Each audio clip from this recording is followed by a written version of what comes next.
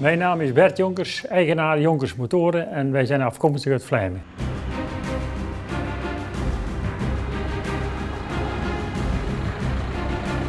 Mijn vraag aan de Kamer van Koophandel is uh, wat wij in de toekomst moeten gaan doen als mijn zoon uh, Thijs hier aan het werk komt of dat hij parttime blijft werken of in een of andere bedrijfsvorm mee vennoot wordt.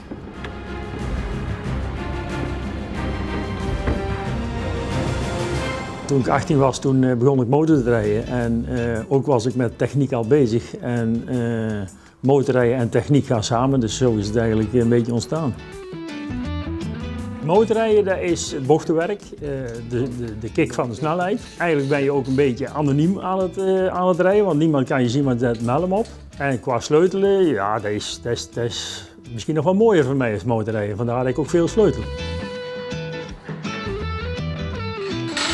De sterke kant van ons zijn de ruime openingstijden. In de, in de zomer is dat van, eh, van 8 uur s morgens tot 8 uur s avonds.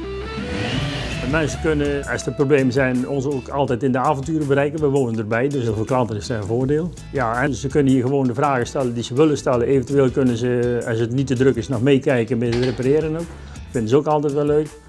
En het is een beetje de persoonlijke benadering eigenlijk die wij uh, naar onze klanten toe uh, hebben. De jongste zoon van ons is 25 en die is eh, op het ogenblik is die automonteur en die werkt vanaf zijn 14e jaar hier al mee, ook in de avonturen en zaterdags. En die heeft er heel veel interesse in om het voor te zetten. Dus.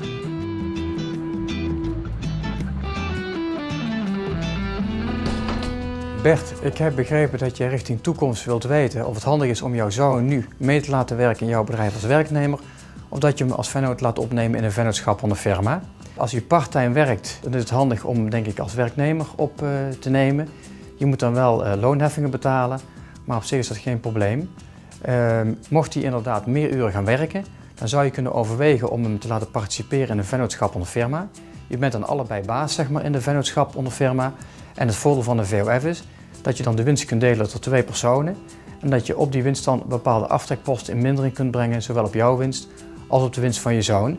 Maar nogmaals, het is alleen uh, van belang op het moment dat hij fulltime meewerkt in het bedrijf. Dus bijvoorbeeld een 1225 uur per jaarbasis zou hij dan moeten halen. En hoe zit het als Thijs het bedrijf over wil gaan nemen over een enkele jaren? Bij opvolger wordt, zeg maar. Ja. Nou, op zich kan dat op allebei de manieren. Dus hij kan zowel als werknemer op een bepaald moment de zaak overnemen van jou. Of hij is vennoot en hij neemt het bedrijf van jou over. Op zich maakt dat niet uit. Nee. Dus de winst is vooral te behalen op korte termijn. Het is de vraag of je nu inderdaad als werknemer uh, bij jou op de loonlijst komt te staan. Of dat je hem inderdaad uh, de zaak omzet naar een vennootschap van de firma. In verband met het belastingvoordeel. Oh, dankjewel. Dus, uh, het is duidelijk. Dankjewel. Graag gedaan. Nou, de toekomst zal uitwijzen hoe dat het gaat gebeuren, denk ik.